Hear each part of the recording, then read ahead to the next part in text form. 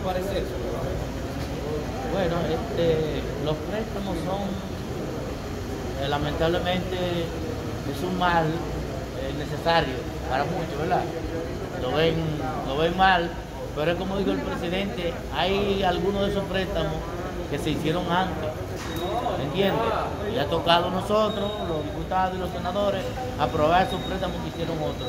Pero todo lo que tengan que cogerse para mantener lo que es la salud del pueblo dominicano, para la reforma de la policía, para hacer infraestructura, para bajar el alto costo de la vida, para la medicina, para cubrir la pandemia del COVID, bienvenido sea y lo vamos a hacer, porque la salud está primero que todo y, y este país, lamentablemente, está pasando por momentos difíciles y si hay que hacer préstamos para resolverlo, vamos a hacerlo, señor. ¿Y por qué no cogen dinero de esos préstamos para que le den recursos a Interior y Policía para enfrentar la delincuencia? Acabo de decirlo ahora mismo. Repítamelo, por que favor. si hay que hacer préstamos para resolver lo que es la reforma de la policía, hay que hacerlo.